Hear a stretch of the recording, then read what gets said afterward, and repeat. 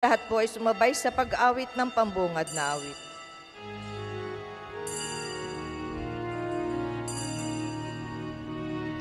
Purihin niyo ang Panginoon, dakilain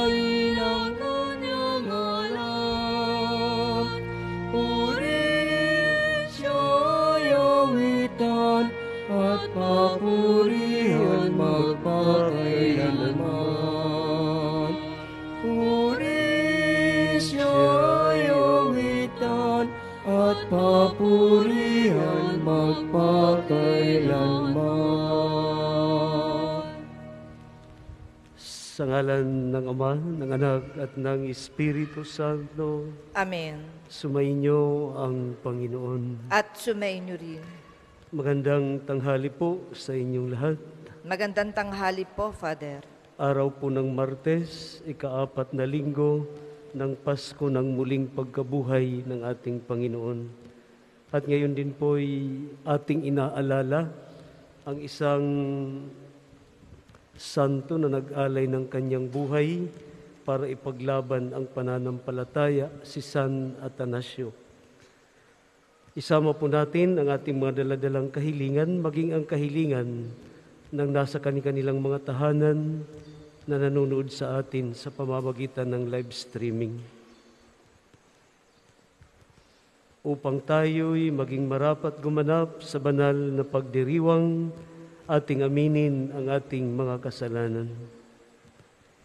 Inaamin ko sa, Sa makapangyarihang Diyos at sa inyo, mga kapatid, na lubha akong nagkasala sa isip, sa salita at sa gawa, at sa aking pagkukulang, kaya isinasamo ko sa mahal na Berhing Maria, sa lahat ng mga anghel at mga banal, at sa inyo, mga kapatid, na ako'y ipanalangin sa Panginoong ating Diyos.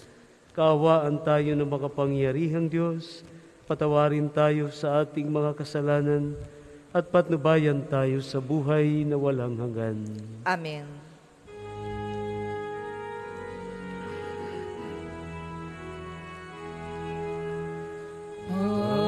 Panginoon,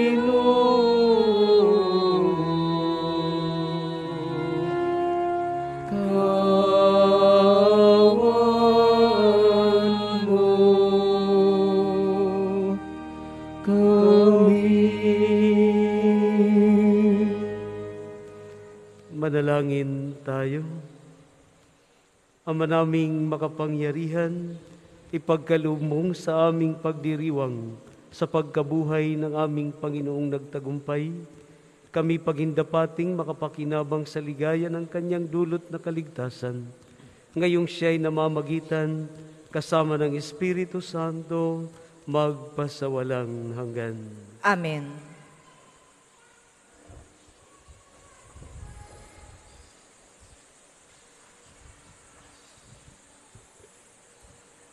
Pagbasa mula sa mga gawa ng mga apostol. Noong mga araw na iyon, ang mga mananampalataya ay nagkahiwa-hiwalay dahil sa pag-uusig na nagsimula ng patayin si Esteban. May nakarating sa kapensya ng Sipre at ang Antioquia. Saan man sila makarating, ipinangangaral nila ang salita, ngunit sa mga Hudyo lamang. Subalit may kasama silang ilang taga Sipre at taga Cerneren. Sa pagdating ng Antioquia, ay nangaral naman ang mga Grego ng mabuting balita tungkol sa Panginoong Hesus. Sumasa kanila ang kapangyarihan ng Panginoon at maaring maniwala at nananalig sa Panginoon. Nabalitaan ito ng simbahan sa, sa Jerusalem, kaya't sinugo nila ang Antioquia si Bernabe. Nang dumating siya roon, ay makita ang pagpapalang ng Diyos sa kanila. Sila'y nagalak at pinagpayuhan silang lahat na manatiling tapat sa Panginoon. Mabuting tao si Bernabe, puspos ng espiritu at matibay na pananampalataya, kaya't marami silang nadala sa Panginoon. Nagpunta si Bernabe sa Tarso upang hanapin si Saulo, at nang kanyang matagpuan ay isinama niya sa Antioquia. Isang taong singkad silang nanatili roong kasakasama ng simbahan at nagturo sa maraming tao at doon sa Antioquia upang tinawag na Kristo ang mga alagad. Ang salita ng Diyos. Salamat sa Diyos. Ang tugon po sa salmo, purihin ng tanang bansa ang Panginoong dakila. Purihin ang tamang bansa, ang Panginoong dakila. Sa bundok ng Sayon, itinayo ng Diyos ang banal na lungsod. Ang lungsod na ito'y higit niyang mahal sa alinmang bayan ng angkan ni Jacob. Kaya't iyong dinggin ang ulat ng inyong mabuting bagay o lungsod ng Diyos. Purihin ng tanang bansa ang Panginoong dakila. Pag itinala ko, yaong mga bansang sa iyo'y sasama, ang ibibilang ang bansang Egipto at mga Babylonia. Ibibilang ko rin yaong Pilistia, Tiro at Estopia. At tungkol sa Sayon, yaong sasabihi, ang lahat ng bansay masasakupan. Sila'y palalakasin at patatatagin ng kataas-taasan. Purihin ng tanang bansa ang Panginoong dakila. Ang poon ay gagawa ng isang talaan ng lahat ng tao'y doon mamamayan. Ang lahat ng ito'y magsisiawit at pawang sasayaw. Purihin ng tanang bansa ang Panginoong dakila. Magsitayo po ang lahat.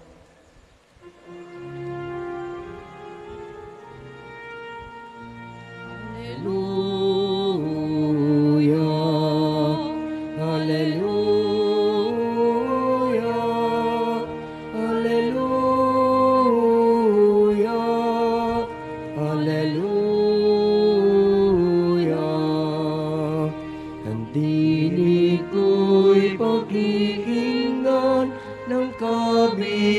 kabilang sa aking kawan. Ako'y kanilang susundan. Hallelujah,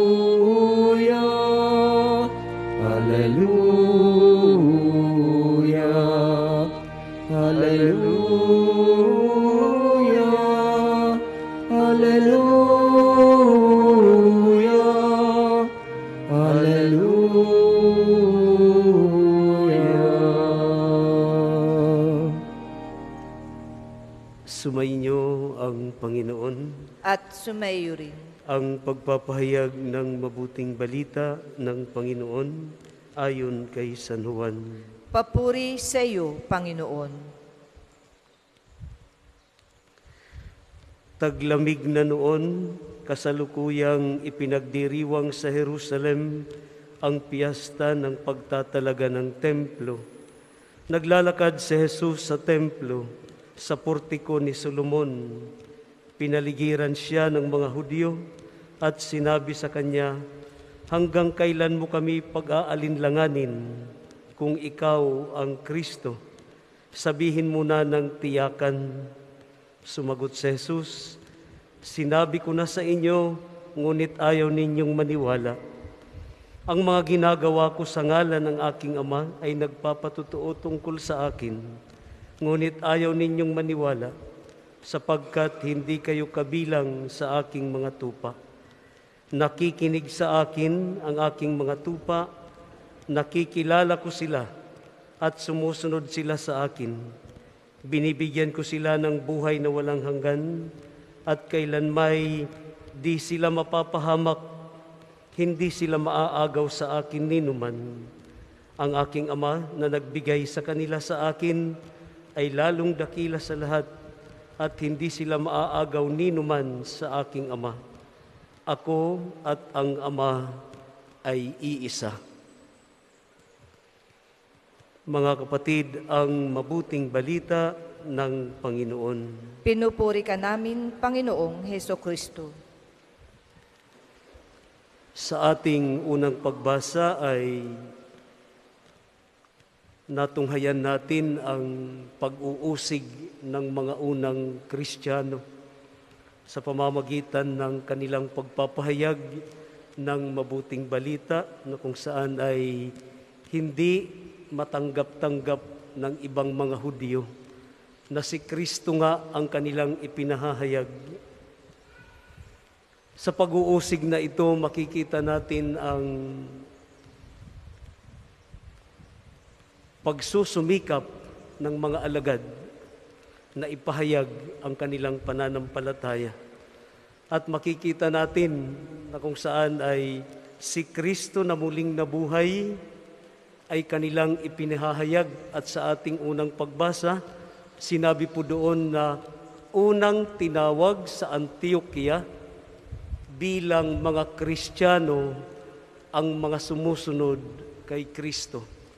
At ang pinaka-main character po natin sa ating unang pagbasa ay si Bernabe, na kung saan ay isang masugid na nagpapahayag ng mabuting balita patungkol sa ating Panginoong Hesus.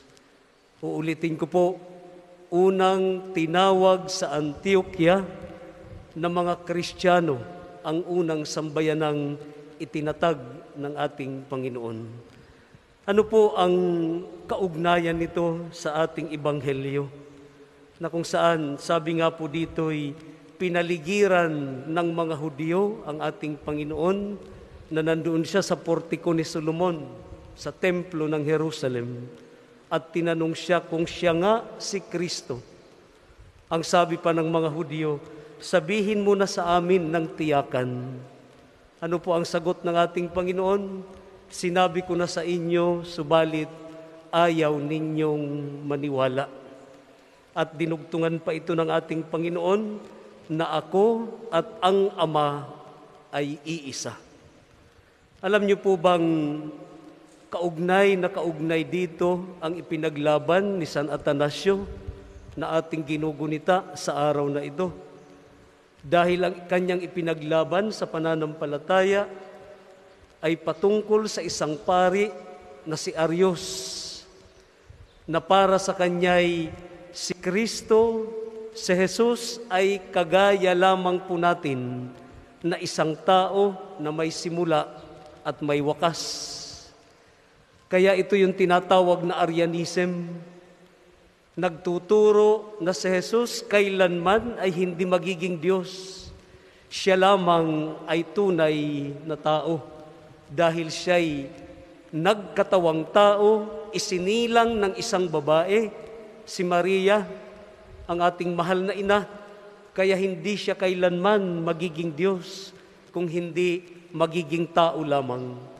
Ito po ang ipinaglaban ni San Atanasio at sa pamamagitan po ng First Economical Council ng Nicaea, 325 after Christ, nabigyan ng diin na si Jesus sa kaniyang pagiging tao at pagiging Diyos sa dalawang natura sa iisang pagkadyos at iisang pagkatao, nagkakaroon po ng tinatawag na hypostatic union, ano, yung kanyang dalawang natura sa iisang nilalang. Dahil wala po siyang simula at walang katapusan. Kung atin pong makikita ang ating Paschal Candle, mayroon po diyang sign doon sa bandang itaas ay mayroong alpha at sa bandang hulihan ay omega na nagsasabing si Jesus ang simula at siya ang wakas. At ito rin po ang sinasabi ni Juan sa kanyang ibanghelyo nang sabihin ni Juan sa unang kabanata na sa pasimula pa'y naroon na ang salita, kasama ng Diyos ang salita, at ang salita ay Diyos, at ang salita ay nagkatawang tao. Kaya sa Jesus ay hindi lamang po tunay na tao, kung hindi 100% ang kanyang pagkatao, 100% ang kanyang pagkadiyos. Ito ang binibigyan ng diin sa ating mga pagbasa ngayon. At kung titingnan po natin sa ating ibanghelyo, mayroon pong apat na binipisyo na ibinigay ng ating Panginoon para doon sa mananampalataya sa Kanya bilang Kristo, bilang Jesus na isinugo ng Ama para sa kaligtasan ng sangkatauhan. Ang una, ang sabi niya po dito ay, nakikilala ko sila bilang mga alagad ko, bilang sumusunod sa akin. At ang ikalawa, binibigyan ko sila ng buhay na walang hanggan. At ang ikatatlo, kailan may di sila mapapahamak at ang panghuli, kailan may hindi sila maaagaw ni numan sa akin. Ito yung mga binipisyo na ibinigay ng ating Panginoon kung kikilala, kikilalanin lamang natin siya bilang Kristo, bilang Jesus na sinusundan natin at ang isinugo ng Ama, ang bugtong na anak ng Diyos na ipinangako noon pa man sa lumang tipan at ang katuparan sa pamamagitan ng kanyang pagkakatawang tao na kung saan isa sa mga accomplishment ng kanyang misyon na ipinagkatiwala ng ating Panginoon ang ialay ang kanyang buhay para sa kaligtasan ng sangkatauhan.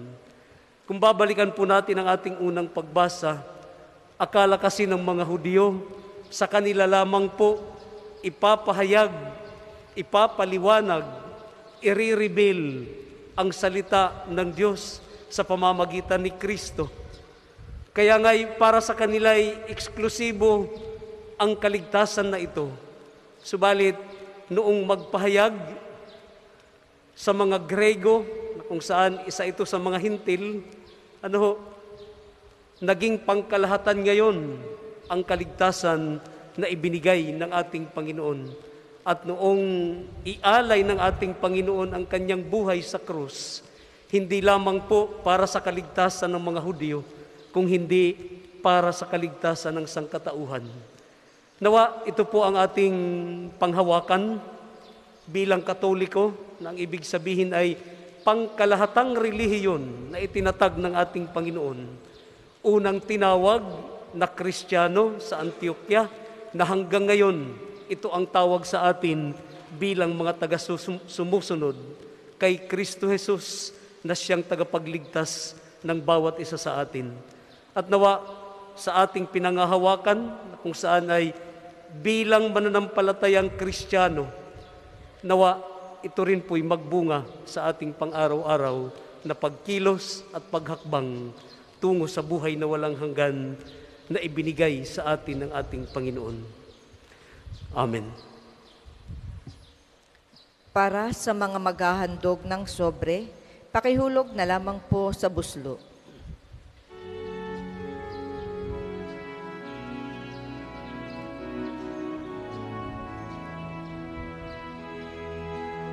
Panginoon,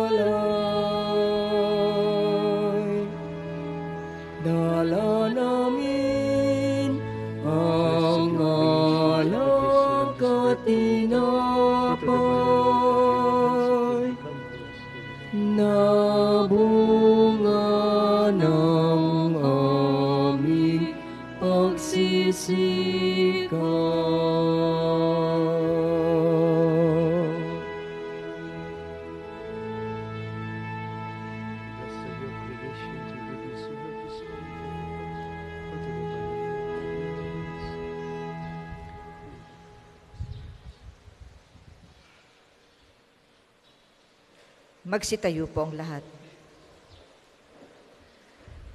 Manalangin kayo mga kapatid upang itong ating paghahain ay kalugdan ng Diyos amang makapangyarihan.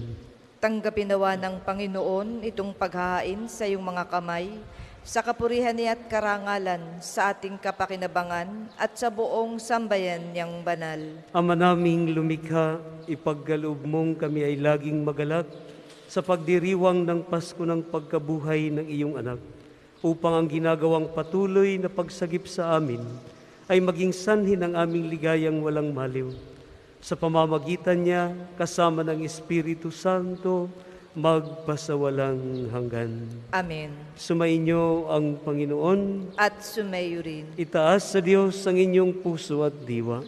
Tinaas na namin sa Panginoon. Pasalamatan natin ang Panginoong ating Diyos. Marapat na siya ay pasalamatan. Ama naming makapangyarihan, tunay ngang marapat na ikaw ay aming pasalamatan.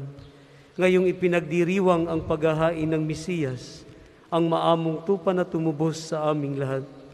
Siya ay talagang maaasahan at ang katapatan niya sa pananagutan ay siyang bumago sa dating pamumuhay sa sangkatauhang namihasa sa pagkasalawahan. Ang dangal ng tao ay ganap na itinampok upang mamana namin ang pakikipagkapatiran kay Jesus. Kaya kaysa ng mga anghel na nagsisiawit ng papuri sa iyo nang walang humpay sa kalangitan, kami nagbubunyi sa iyong kadakilaan.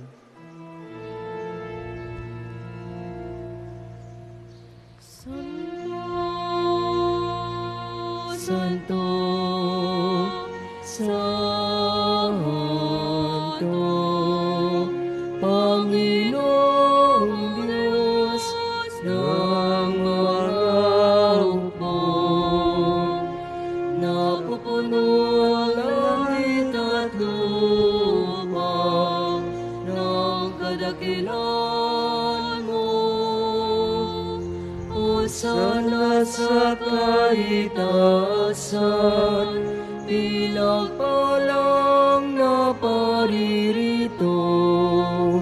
Sa ngala ng Panginoon, o sana sa kaitaasan, o sana sa kaitaasan. Kung hindi kayang lumuhod, manatili pong nakatayo ng may paggalang. Ama naming banal, ikaw ang bukal ng tanang kabanalan, kaya't sa pamamagitan ng iyong Espiritu, gawin mong banal ang mga kaloob na ito upang para sa amin ay maging katawan at dugo ng aming Panginoong Heso Kristo. Bago niya pinagtiisang kusang loob na maging handog, hinawakan niya ang tinapay, pinasalamatan kanya. Pinaghati-hati niya yon. Iniabot sa kanyang mga alagad at sinabi, Tanggapin ninyong lahat ito at kanin, ito ang aking katawan na ihahandog para sa inyo.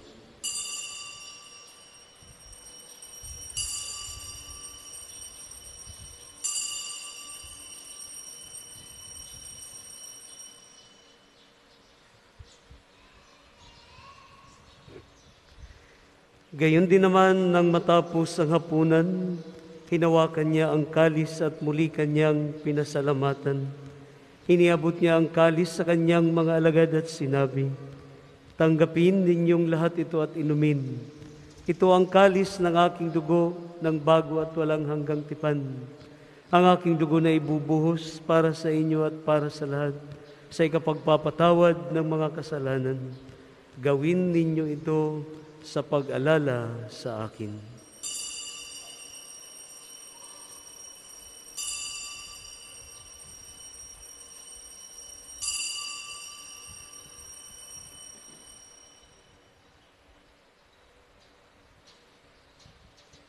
Ang misteryo ng pananampalataya.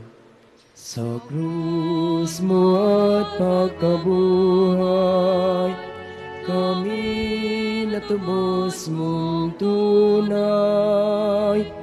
O Jesus, naming mahal, iligtas mo kami tanan. Ngayon at magpakailanman.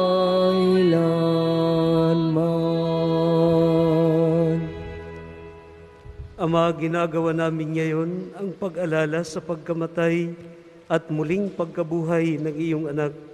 Kaya't iniaalay namin sa iyo ang tinapay na nagbibigay buhay at ang kalis na nagkakaloob ng kaligtasan. Kami nagpapasalamat dahil kami iyong minarapat na tumayo sa harap mo para maglingkod sa iyo. Isinasamo namin kami magsasalo-salo sa katawan at dugo ni Kristo ay mabuklod sa pagkakaisa sa pamamagitan ng Espiritu Santo. Amalingapin mo ang iyong simbahang laganap sa buong daigdig. Puspusin mo kami sa pag-ibig. Kaisa ni Francisco na aming Santo Papa, ni Gilbert na aming obispo at ng Tanang Kaparian. Alalahanin mo rin ang mga kapatid naming nahimlay nang may pag-asang sila'y muling mabubuhay. Gayon din ang lahat ng mga pumanaw. Kawaan mo sila at patuloyin sa iyong kaliwanagan. Kawaan mo't magindapatin kaming lahat na makasalo sa iyong buhay na walang wakas. Kaisa ng mahal na Berhing Maria na ina ng Diyos, si San Jose ang kanyang banal na esposo, ang mga apostol at ang lahat ng mga banal na namuhay dito sa daigdig ng kalugod-lugod sa iyo. May pagdiwang nawa namin ang pagpupuri sa ikararangal mo sa pamamagitan ng iyong anak na aming Panginoong Heso Kristo. Sa pamamagitan ni Kristo kasama niya at sa Kanya, ang lahat ng parangal at papuri ay sa iyo, Diyos amang makapangyarihan, kasama ng Espiritu Santo, magpasawalang hanggan. Amen, amen, amen. Amen.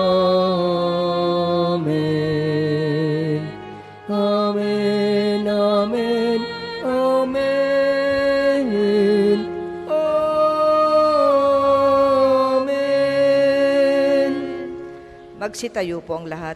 Sa tagubilin ng mga nakagagaling na utos at turo ni Jesus na Panginoon natin at Diyos, ipahayag natin ng lakas loob. Ama namin, sumasalangit ka. Sambahin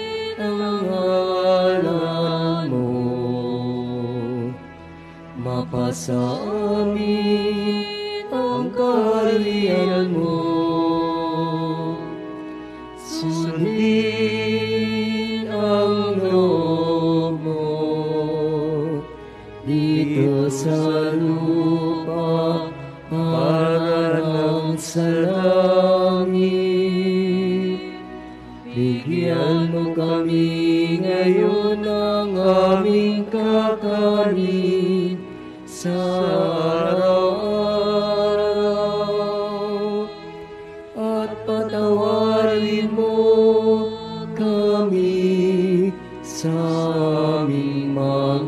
mga sala para ng pagpapatawad namin sa nagkakasala sa amin.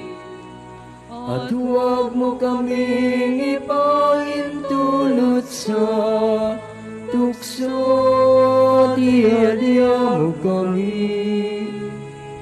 sa lahat ng masama. Hinihiling namin kami adya sa lahat ng masama, pagkalooban ng kapayapaan araw-araw, iligtas sa kasalanan at ilayo sa lahat ng kapahamakan, samantalang aming pinananabikan ang dakilang araw ng pagpapahayag ng tagapagligtas naming sa Heso Kristo. Sapagkat iyo ang kaharian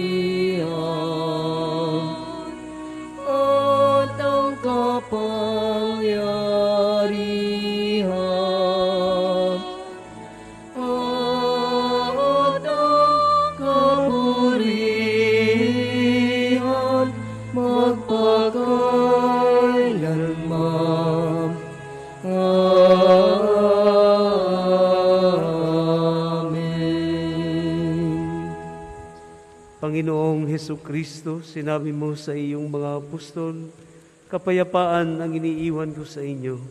Ang aking kapayapaan ang ibinibigay ko sa inyo. Tunghayan mo ang aming pananampalataya at huwag ang aming mga pagkakasala. Pagkaluban mo kami ng kapayapaan at pagkakaisa ayon sa iyong kalooban, kasama ng Espiritu Santo, magpasawalang hanggan. Amen. Ang kapayapaan ng Panginoon naway laging sumainyong lahat. At sumayo rin. Magbigayan po tayo at maghangad ng kapayapaan sa isa't isa.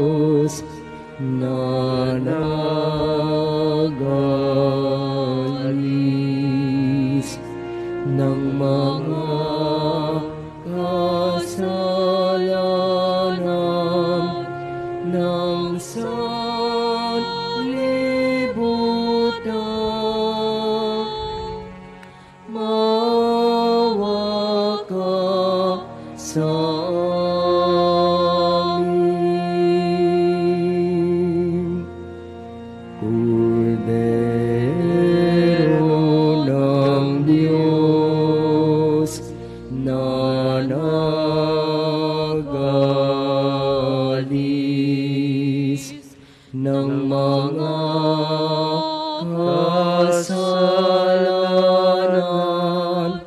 ng sanlibutan.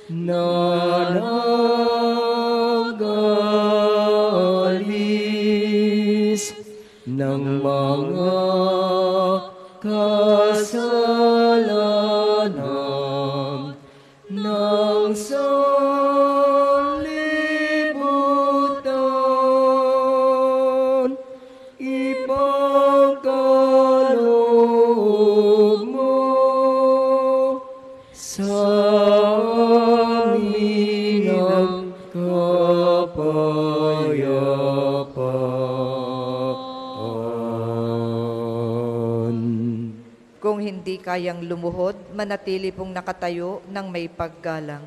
Mga kapatid, na ito ang ating Panginoong Hesus, ang kordero ng Diyos na nag-aalis ng mga kasalanan ng sanlibutan. Mapapalad po tayong inaanyayahan sa kanyang banal na salo-salo. Panginoon, hindi ako karapat-dapat na magpatuloy sa iyo, ngunit sa isang salita mo lamang ay gagaling na ako. Ang katawan ni Kristo. Amen.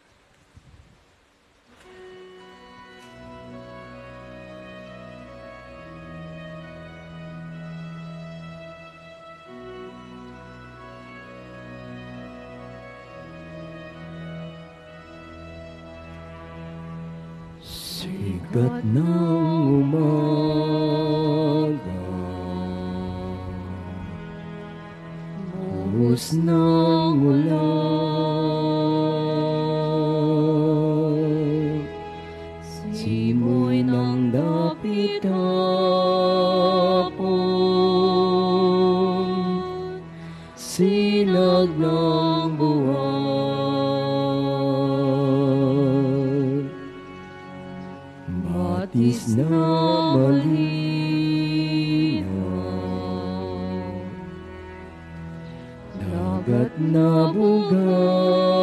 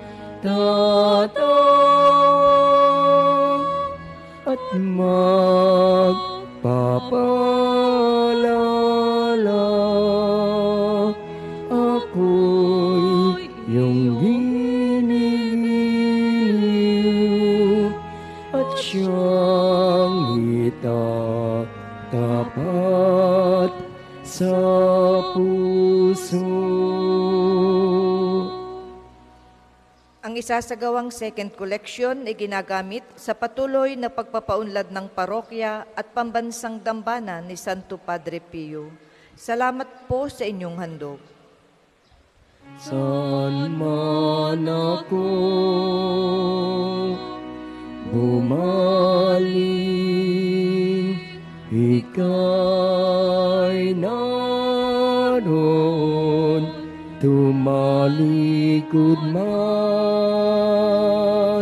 sa'yo. Dakilang pag-ibig mo sa akin tatawag at magpapalala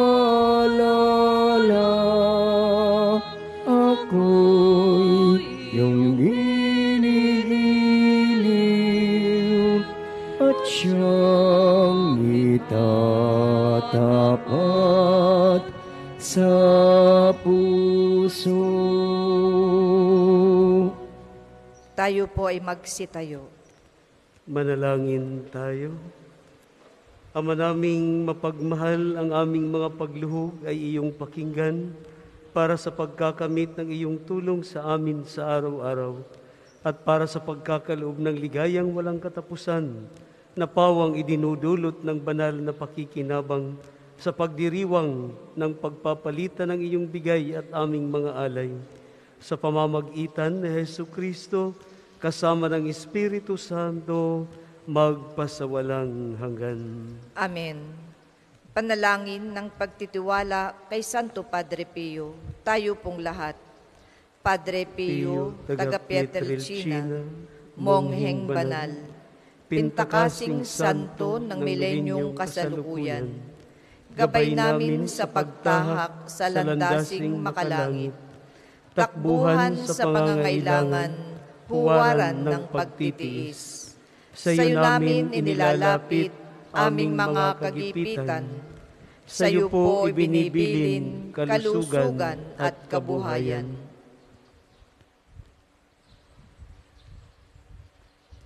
Di man karapat-dapat, kami po ay pagbigyan, bindisyonan at basbasan, maging ganap sa buhay. Lumayo nawa kami, umiwas sa kasalanan, lumapit lagi sa Diyos, maging matatag at matibay. Sa mabuting balita ng pagliligtas, turuan mo kami nawa, sa tuwina ay makinig, magnilay at sumampalataya. Amin pong pakiusap itong mga kahilingan. Puso ay nagsisisi, nagtitikang taimtiman. Di na muling magkasala, sunod lagi sa Diyos Amang, kaysa ng Espiritu at ni Jesus na tagapamagitan. Amen. Ang lahat po ay magsiupo, sumandali para po sa mga patalastas. Una, sa inyong pagdalaw sa pambansang dambana, mangyaring pakiingatan ang inyong mga personal na gamit. Hangad namin ang isang matiwasay at maayos na pagbisita sa National Shrine. Ikalawa, mga kapiyo, Kung inyo pong mapapansin ay sira na at kailangan ng ipagawa ang extension area sa pagitan ng main church at Divine Mercy Sanctuary. Muli po kaming nananawagan sa mga may mabubuting puso na nagnanais maging bahagi ng pagawaing ito. Mangyaring makipag-ugnayan po kayo sa opisina ng parokya o sa pamisahan para sa inyong mga tulong at donasyon. Ikatlo, isang mahalagang paalaala. Mangyaring mag-ingat po tayong lahat sa mga kumakalat na fake accounts sa Facebook na gumagamit ng ating mga opisyal na video testimonies upang makapagbenta ng di umano'y blessed oils at iba pang mga banal na bagay. Hindi po ito mula sa pambansang dambana at kailan may hindi tayo maaaring magbenta ng mga binasbasang bagay. Maging maingat po ang lahat. Ikaapat, kaugnay po ng isinagawang grand opening ng ating Kapio Osteria, ay mahigpit tayong pinaalalahanan sa ating panawagang Clego, Clean as you go, sa lahat ng lugar sa loob ng pambansang dambana lalo't higit sa Osteria. Ipinaalam din po sa lahat na gamit ang atin main arc entrance, tayo ay may malalaking pre-parking dito sa loob ng pambansang dambana.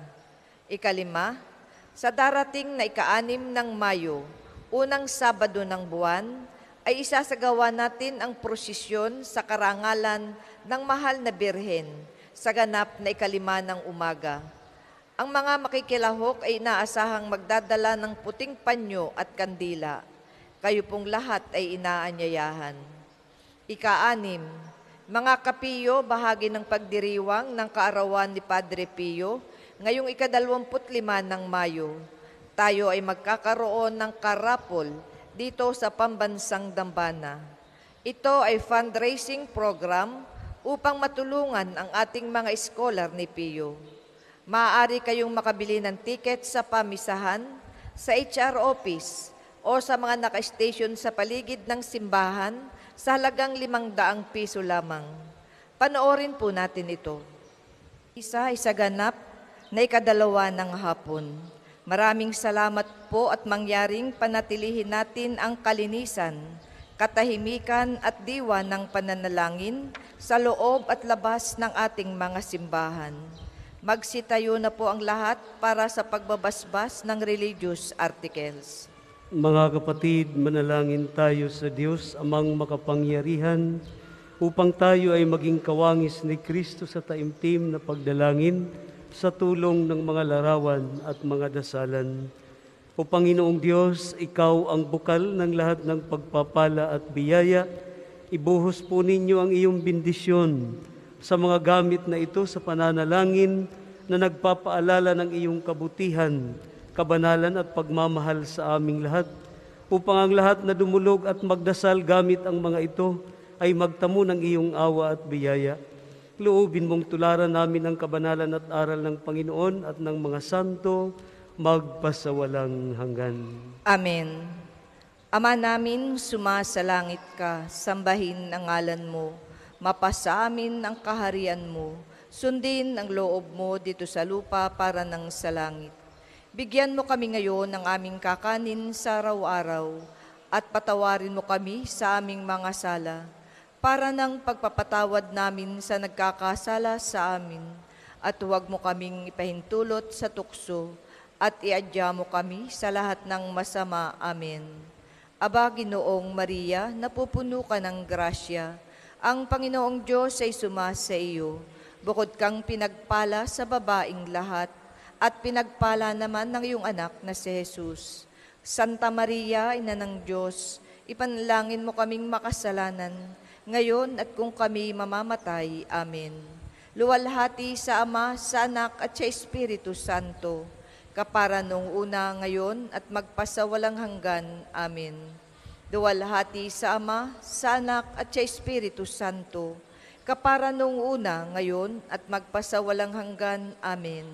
Luwalhati sa Ama, sa Anak at sa Espiritu Santo, kapara nung una, ngayon at magpasawalang hanggan. Amen.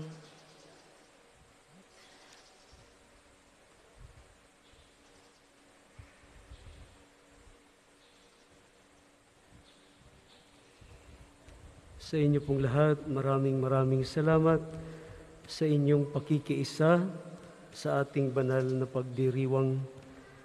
Mag-ingat po ang lahat. Umuuso na naman po ang mga alert levels Naway ang lahat ng ito'y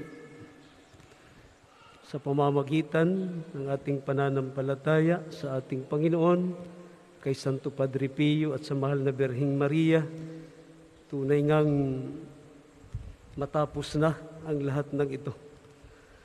Muli, maraming maraming salamat. Sumainyo ang Panginoon At sumayin niyo rin. at pagpalain po kayong lahat ng makapangyarihang Diyos, ang Ama, Anak, at ang Espiritu Santo. Amen. Naialay na po ang banal na misa, humayo kayong mapayapa. Salamat, sa Diyos. Alleluia, narito na ang araw na dulot ng Diyos. Nabuhay na si Kristo nga, ating hari at.